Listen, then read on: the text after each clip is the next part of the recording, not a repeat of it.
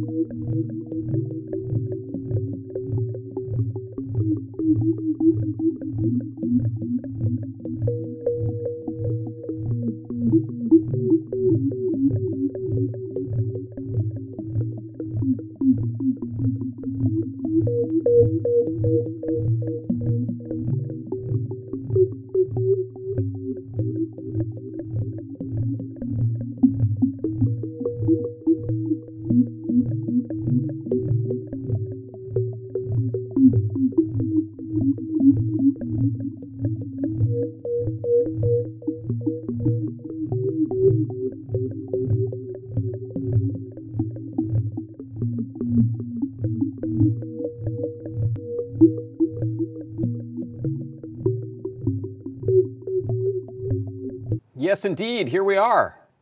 It's me, John Park, and welcome to John Park's workshop. We're at it again. Uh, hello, FX Music and Troy Gar and C. Grover and Andy Calloway over in the Discord chat. Nice to see you. Uh, I am also, hey, Chris Frieden over in the YouTube chat. Welcome. This is it. This is the show that, uh, that happens every Thursday. And uh, today is no different. Today we're going to take a look at some products. We're going to take a look at uh, some make code. We're going to have a look at a project of the week. And uh, yes, it is a beautiful day here in the JP hood, as C. Grover says. Uh, I, before I forget, want to mention that next week on Wednesday, I'm going to be doing the unboxing of AdaBox 11 and I'll be doing that during the normal Ask an Engineer slot, the Ask an Engineer time slot, which is 8 p.m. Eastern Standard Time on Wednesday, right here, the same place you're watching this. I'll be doing the unboxing. And I believe we'll probably have Mr. Lady Ada and Lady Ada herself in the Discord chat during that. So please stop by if you have questions, if you want to see uh, the contents of the box, some demos, and, uh, and so much more. Come on by. That's next Wednesday, that's April 10th, and it's going to be at 8 p.m. Eastern Standard Time.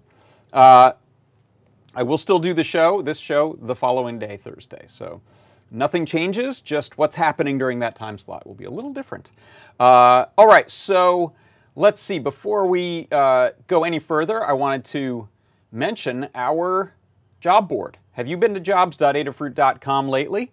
You should check it out because uh, jobs.adafruit.com is our free to use jobs board uh, that has people posting, companies posting for positions they're looking to fill or contract jobs, uh, as well as people putting up their skills uh, if they're looking for work. So go check out jobs.adafruit.com. Uh, hey, John K. Schaffstall from Chicago. Welcome. Uh, good to see you over there in the YouTube chat. Uh, let's see, what else have we got? Hey, we've got a, uh, a little coupon code for you to use in the store. So if you want to go and uh, pick something up in the Adafruit store, you can get 10% off today by using this coupon code, HORSEHEAD. That's right, HORSEHEAD. That's your code. That'll get you 10% off in the Adafruit store on all sorts of great parts and products uh, other than gift certificates, subscriptions, and software, but any goods that you get, any stuff that you want to pick up and use for your next project, well, use that coupon code. Go there and you'll enter it at checkout, and that'll get you 10% off. And that's good uh, until midnight Eastern Standard Time tonight. And uh, yes, Troy Gar is right. He says, as in Nebula. Yeah, so Horsehead. Uh, the reason I chose that is that yesterday's uh, NASA astronomy picture of the day was the Horsehead Nebula. And uh, we'll get back to that in a li little bit when we do our project. Um, but before we do that, let's have a look at the product of the week. So the product of the week this week is the Quad Alpha Numeric uh, Display Featherwing. I've got one right here. In fact, let me let me switch to that. Look, uh, I'll make it big. Hold on. Where is it? There it is. Make that one real big, and I'll just come over here in the corner here. Uh, so this is the Quad Alpha Numeric Display Featherwing, and you can see I've put a little uh, gel on it there because it was really bright in, in real life. It's also green, and I'm using, this is a green screen uh, view right here, so it was going to white. But if I lift this up into this view, you can see I've got it uh, flashing the words game over. You can see the reflection is nice there. Uh, so unlike your typical uh, seven segment display, this is a 14 segment per character display, which means that you can do diagonals. Um, there's essentially an asterisk pattern in the middle and a box uh, pattern around the sides. and so that gives you uh, lots of segments to make more interesting characters than your typical seven segment display. Uh, this, I'm actually running on a Feather M0 that I plugged it into, but you can plug it into pretty much any of our Feather boards. Uh, since this is an M0 board and not an Express board, I decided to program it in Arduino to make it easy. And we have some great demo code. And I believe we have this one working in CircuitPython now as well, uh, but I haven't tried it. So let me know in the chat if you know that that's true or if that's a lie. Uh, hey, Dastels, Dave Astels has arrived in the uh, Discord chat. Nice to see you. So, excuse me, got something in my throat. Uh, this is a really cool um, feather wing that, here, let me unplug it and pull it apart for you, that uh, you can plug into any of our feathers. I happen to have some stacking feather pins on this feather. So here's your feather. Here is your uh, pair of two character LED elements that are then soldered into this feather wing, which is the LED backpack. And this uses the uh, HT16K33 matrix driver. So it actually only uses uh, two pins for data. It's actually clock and data. It's a, it's a I squared C device. So when it's plugged into your Feather, uh, most of the pins are still available. So if you're using stacking pins or uh, a breakout or a breadboard or a doubler, uh, you'll still have lots of pins on your Feather to use. Here's a little boot up sequence, and then there's my game over. Um, and uh, it couldn't be easier. So you're not using up tons and tons of pins to talk to it. You're using that great little driver chip. So that's the project, or rather the product of the week is uh, the Quad Alpha Numeric Featherwing. Go check it out. Um, all right, so excuse me for one second.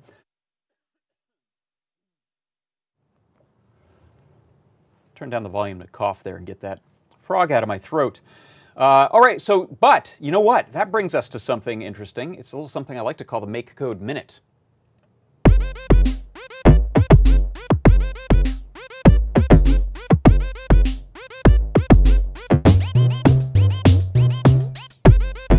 All right, so let's have a look. Uh, I'm going to pull up this and turn off this. And now we can talk about our Make Code Minute project of the week. And so today in Make Code Minute, I wanted to talk about using an arcade joystick with the Circuit Playground Express inside of Make Code. So what I'm talking about here, let me demo it first. Um, I have a Circuit Playground Express and I've got it in our little case there. And then this is a typical arcade joystick, which is made using four limit switches. Um, so this is what you'll find in most arcade cabinets. And check this out. If I, oh, I've got it backwards. Try it that way.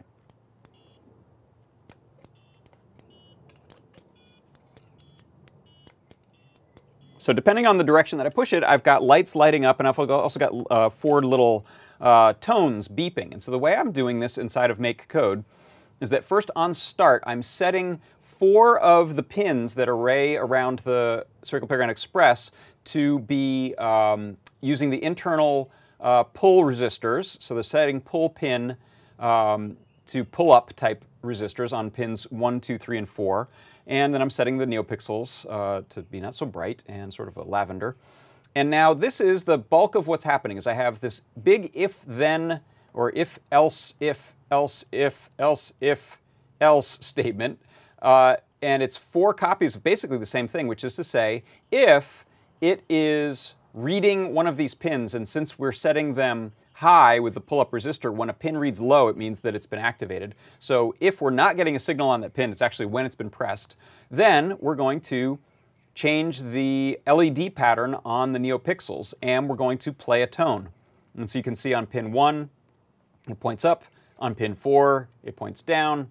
2 left, and 3 right. And that is all there is to it. So once again, you can see when I orient this properly. There we go. and down. Uh, and so we're able to use the four pins, unlike an analog joystick. It's a very simple type of construction. It's the same as using four buttons. And that is how you can use an arcade joystick with Circuit Playground Express inside of Make Code.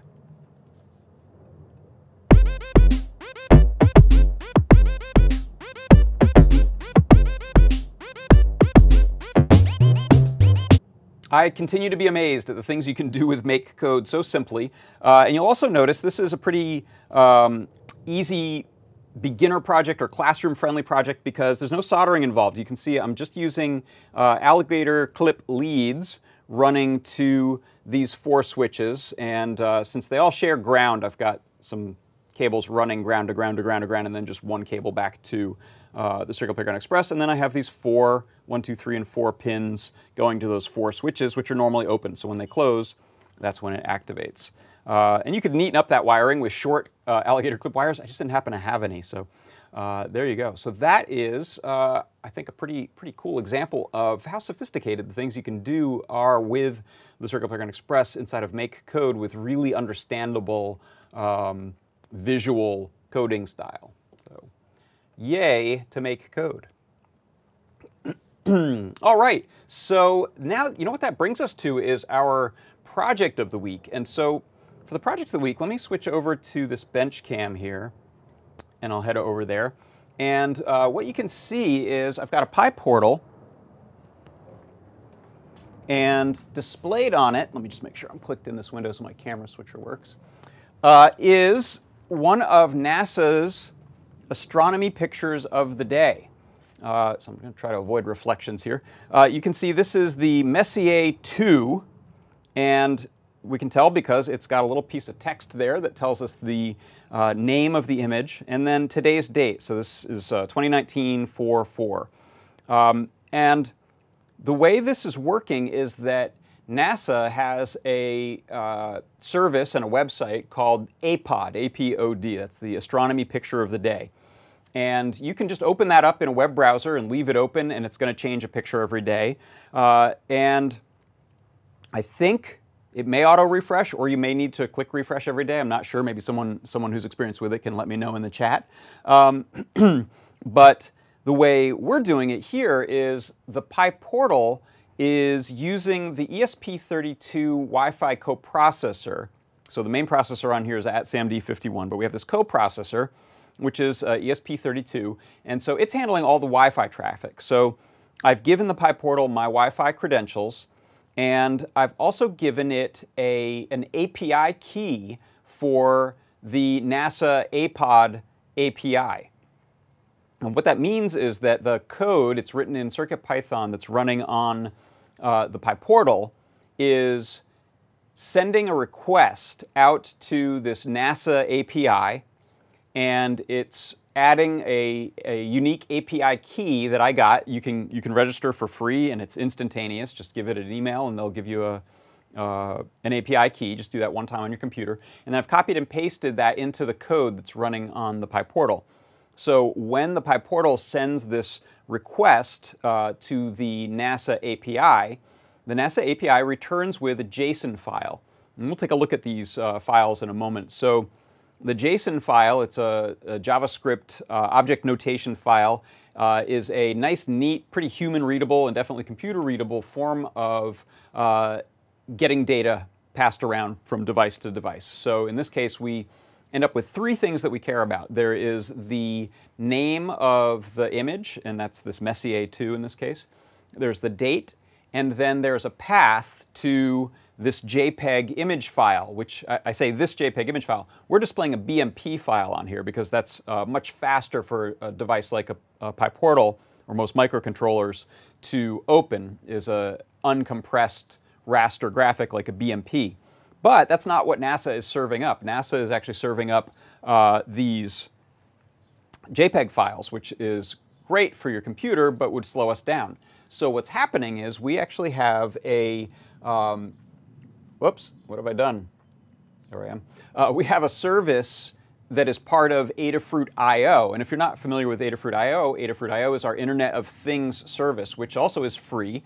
Uh, if you register for Adafruit IO, then we can use your Adafruit username or Adafruit IO username and Adafruit IO key in the secrets file running on the PyPortal, which is uh, just a place where we stash some, some passwords and things like that and some API keys so that when this code runs, it grabs that URL from NASA, it looks through the JSON file, it says here's the uh, URL to the JPEG, and then it in turn passes that URL to Adafruit IO's image conversion service. So there's an image converter that's running on the Adafruit IO servers, which can convert that then to the format that we want. In this case, in the code, it specifies turn it into the proper size, which is 320 by 240 pixels, to the proper color type and bit depth, which is RGB at 16 bits for the full image, which is 5, 6, and 5 bits respectively for red, green, and blue, uh, which is the maximum bit depth this display can show anyway. So it's, uh, it's okay that we're, we're bringing it down in color space um, from millions to tens of thousands of colors. Uh, and then it formats it as a uh, BMP, sends that BMP file to the PyPortal, where the BMP is written as a cached uh, BMP, cache.bmp file actually appears on the flash drive of your PyPortal, and then it can pop that onto the display. Phew, so that's a lot that it does. Um, and it doesn't take very long, but once it's up, what we do is we wait uh, 30 minutes and then we just retrieve the image again. And the reason we do this is that since it changes once a day, um, we just want to grab it roughly when the new image comes up. I imagine we could do something that's based on an exact time if, if NASA posts that at an exact time every day, and I'm guessing they do. Uh, but the way it's set up right now is just every 30 minutes it goes and it checks for that file, pulls it down, and displays it. Um, so one other thing I'll mention, and then we'll look at some of these files on the computer, is that the um, current way this is working, in order to safely write that cached file to the drive on the PyPortal, um, we're actually running a little special file called a boot.py file that allows that file system to be written to. Normally, CircuitPython is going to be protective of uh, write operations happening, but we need to allow it to receive this write operation when the BMP file comes in. So you'll see there's one extra file than other PyPortal projects that you've used. Um, but you can imagine we're going to be uh, opening up the doors essentially to doing all sorts of image file based projects. So this is just the first one. But if you think about what we're doing, we're using the CircuitPython to request a JSON file, look at the JSON file, find an image that's in a standard key and value pair, and then go and process that image on the Adafruit IO servers and bring it back onto here. So if you know of a service that provides a predictable image location, and, and it doesn't even have to be uh, a predictable name, it just has to uh, have a, a, predictable key that's like image today or something like that, uh, we'll be able to process that and display it on your PyPortal. Um, so it's really cool. It's really exciting to have gotten to the stage with this uh, because essentially set it and forget it once it's going. You could leave this thing on and every day you're going to uh, see a new image. Or if it's a different type of service like cat image uh, that is rotating every 10 minutes, then, then you could set it up uh, to look at cats. So let's have a look um, over here at some of these files that I'm describing, and I've got a Learn Guide in the works that will be uh, up probably tomorrow that you'll be able to look at.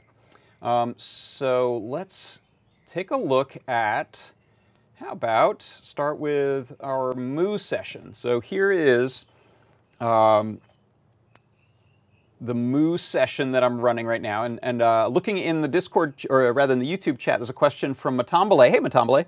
Uh, he says, doesn't the PyPortal have sufficient space and processing power to decode JPEGs, PNGs, GIFs, etc.? Um, that's a great question. I think we are decoding GIFs on it now, um, but I may be wrong. I haven't done the GIF, pro GIF project. I think we have one that's up on Learn Guides.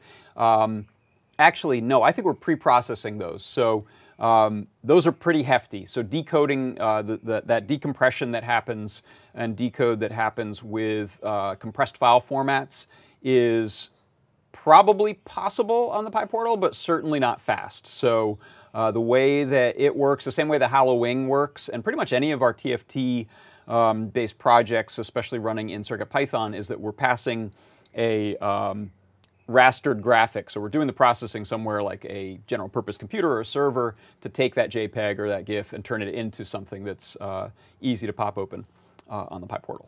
So uh, having a look over here, this is, oh, what did this, looks like I pasted something into there. Let me reopen that NASA file. So this is nasa.py. Okay, so I'm going to make that a lot bigger so you can see it. Uh, so you can see this is our, uh, what, what happens, I'll rename this code.py, and that means that's going to be the file that runs on the PyPortal when it restarts. And uh, what we're doing is we're importing the time library, because we're going to use that for this uh, wait every half hour. And we're importing board, which has the definitions of, of every, everything on the board, all the pins and, and so forth, display. Uh, and then we're importing the PyPortal library. So the PyPortal library handles a ton of things. It's uh, doing the handling the Wi-Fi connection to the ESP32. Uh, it's handling the uh, display, uh, all these things that you see in this PyPortal constructor here, how the text works, um, the backlight, the NeoPixel that's on the board, all those are being handled inside of the PyPortal library. Um, so the next thing we're doing is we're setting these three variables. So data source, that is the URL to NASA's uh, planetary uh, API. And in fact, let me, let me pop over to my Firefox for a moment, if I can find that one, and I'll show you uh, NASA API. Should get me pretty close. So NASA's Open APIs, this is the page. And if you go and click on apply, applying for an API key, it just has like a one-line form where you add, add in your email address and it'll give you a key.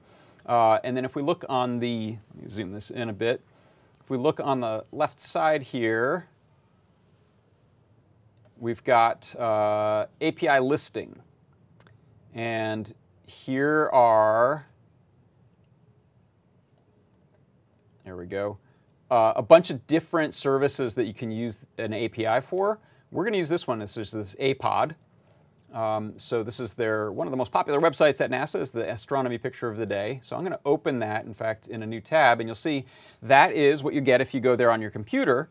Uh, and remember, we're also seeing that on our um, uh, PyPortal. Whoops. So what are we using the, uh, the JSON for? Well, let me show you. If I take this URL that we have in the PyPortal code and paste it here, it's going to yell at me because I've got this API key equals demo key uh, in there. So what I'm going to do for a moment is I'm going to hide this and copy and paste my own uh, key into there just so that it's not being shared around the world. Um, and so let me, let's see if I can grab that stealthily one second. So I'm actually loading my code.py, which is where I've got mine stored. And so you'll get an email from NASA with this key. Uh, and I'm going to paste that into the top. I don't think you can see that. And yeah, that, that'll work. So I don't know if that's actually, I I don't think the key is in the JSON file. It shouldn't be. Um, I have seen that the REPL in uh, Moose does show the API key in this case, so you don't want to show that to people or broadcast or screenshot it if you want to keep that secret. Um, not that people can do much harm with it, but so here is what the JSON file looks like, and I'll let me uh, bring that back over here and zoom in a bit. Uh, here's the raw data, so that is what you'll get um, back in sort of less friendly, less readable form, but we can hit this pretty print inside of Firefox. Uh, different browsers will handle this differently. Uh, or we can head over to, uh, so you can see this is how these keys, here's the date key and here's its value. Uh, but it's really nice to look at it in this JSON viewer. So now you get this kind of tree view and you can close and open things. So date equaling this, uh, title equaling Messier 2, and this URL. Uh, and so if I click on that URL, that takes me straight to that JPEG. So now going back to uh, look at our um, code over here. Oops, now I've done it. I think I just showed you my API key. Did you see it? That's okay. Uh, so if we look in this code, we can see these are the three variables that we're setting up. The URL, which we're going to pass to the PyPortal library uh, request, the image location, which is title, and date. So those are then built into the PyPortal constructor. We tell it, here's the URL you're going to get, here's the title, location, and date. Uh, and let's see, we have the NASA background.bmp. This is actually uh, unrelated to the um, NASA image. This is the NASA logo that we've got pre-installed on the PyPortal. So you'll see here, if I, let me just restart it. I just press the reset button on the back. Uh, it's going to restart. Right now it's telling me the, uh, we have this warning that we're using the file system in a writable cache. That was that thing I mentioned earlier about boot.py. Uh, now it is attempting to connect to my uh, Wi-Fi router. This will take it a little bit. It depends on the router. Uh, and now we get this NASA logo. So this is just a BMP file that we stuck on the um, device. So it pulls that up, which is nice to look at while it is now going and doing some of that processing in the background. So uh, I'll leave that up so we can see that, see that come up there. Um, let's see. Do I have a good way to leave that up? I don't. Sorry, because I want to go back to our code. But I'll, I'll pop back to it when the image. Oh, did it already? Is it doing its thing? No. It's uh, it's connecting right now. So looking back at our Mu session, um, we then are setting the typeface that we're using, or the font that we're using, which is a bitmapped font. We have our text position, where it's going to set on X and Y. Uh, and then we have the two pieces of text that we're putting up there. So we have two, two values there, what color they are, they're white. Um, max length of a title before we cut it off so we don't just flood uh, through the buffer. And uh, then the image JSON path, image location, uh, as well as this is, um, this is the stuff that's being passed up to the Adafruit I.O. to tell it, here's the path of the JSON's, uh, the JSON file found for a JPEG, uh, and then this is the resize uh, and positioning that we're going to have. So it's just taking it from 9 something pixels wide to 320 by 240 uh, in this case. And so that's all uh, constructed the, the PyPortal object. And now here's what happens when we uh, get to the main loop of the program. Uh, it checks for a response. When there is none, it's doing nothing. Then it's uh, trying every 30 minutes to fetch, which is the PyPortal library command that goes and runs all of that good stuff that sends the, uh, the query out to the NASA API and then sends the uh, request over to the Adafruit IO server to do the resize uh, and reformat of the image. Uh, and then we wait 30 times 60 seconds, so 30 minutes, to do it all again. Um, so that is, oh, wait, we've got Brent uh, Rubell in our live chat over in YouTube. Brent is super knowledgeable Adafruit uh, guy about a lot of the IoT things. So let's see if he's, so questions people have. Um, just checked astronomy picture of the day HTML, and unlike your PyPortal code, it does not auto refresh. Okay, thanks, Bill. It's Bill Ferguson. Uh, Brent. okay, so the question was, so could you do the same from a subreddit like pictures of nature? And Brent says, yes, but you'd need to retrieve a new image every time you call the URL. Um, I don't know why that is, but we'll be doing, we'll be posting more um, projects that are using image grabbing, and as we grab them from different sources, you'll see some nuances come into play. Um, refresh. I think Brent's saying you'll need to refresh. Okay. Uh, and where did my, I've lost my Discord. Any questions in there? Um, you can regenerate a new API key over on the Adafruit IO site, Brent says. Uh, actually, that was not my Adafruit IO key that I, that I exposed there for a moment. It was my uh, NASA one, which um, I'm a little less worried about. So it's not tied to anything other than my ability to do this. Uh, I guess it is tied to my email, so if someone saw that and went and abused the heck out of it. Um, speaking of abuse, you uh, can use that API, I think, 50 times in a day, and there's probably some frequency you can't exceed either before they cut you off and think that you're just abusing them. So um, watch, watch out that you don't accidentally set that to ping every 30 seconds, or you'll you'll pretty soon uh, fail to, to get your uh, NASA API or it'll be unhappy with you. I'm not sure what happens. Maybe we'll find out. Um, okay, so let's see. I think that covers it. So I hope you uh, enjoyed that. I'm really excited about the fact that we're now doing stuff with images on the PyPortal, not just uh, local ones, but dynamically. We're now able to go and grab images and do stuff, uh, which is pretty great. And, uh, you know, I don't think it'll be long before people do roll your own picture frames to give to the grandparents uh, and auto-populate it from some uh, Dropbox folder or something like that. It's all a matter of figuring out all the right hooks into APIs and things, but um, it's, uh, it's pretty exciting that we can do this now on PyPortal. So uh, I want to thank everyone on the CircuitPython team uh, who have, from Adafruit people to volunteers, uh, people on Discord in those chats, because it's amazing how quickly CircuitPython itself has developed, as well as a lot of these great functions on, on the uh, PyPortal.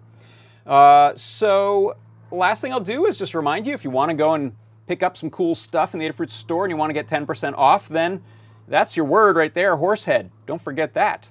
Uh, and again, I'll mention that I'm going to be uh, at Maker Faire Miami on this coming Sunday. That's uh, April 7th, not August, April 7th. Um, and I'm doing a talk at 1 o'clock uh, Eastern Time there. So if you're in the area, go, go to Maker Faire Miami. I think it's going to be awesome. Uh, and next week, Wednesday at 8 p.m. Eastern Standard Time on April 10th, will be the live AdaBox 11 unboxing.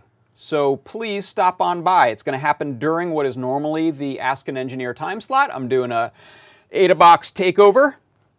I'll be there and uh, I hope you are there too.